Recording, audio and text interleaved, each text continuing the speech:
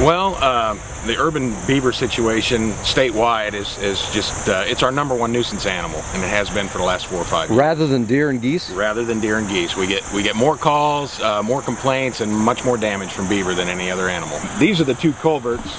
If they're going up into the into the subdivision again, there's two big culverts down here that they're accessing. You got some more damage somewhere else? Or? Yeah, there's some more damage down.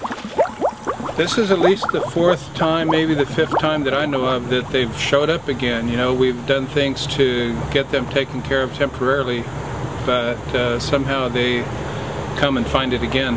You've even had uh, some residents who have said the beaver have been so bold that they come right up on their patio. that's true, that's happened. I'm going to explore some more and see if I can find pinpoint where he's at.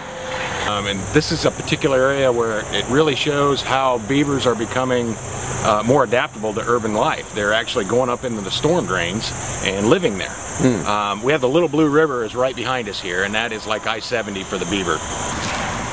You know, this was a this was a cottonwood.